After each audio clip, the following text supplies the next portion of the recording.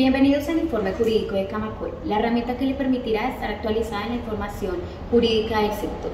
En esta edición encontrará el decreto 1747-2021 expedido por el Ministerio del Trabajo y por el cual se crea el programa de protección de accidentes mayores, así como la resolución 1687 del 2021 del Ministerio de Salud y Protección Social en la que se establece el incremento del aforo permitido en lugares o eventos masivos públicos o privados.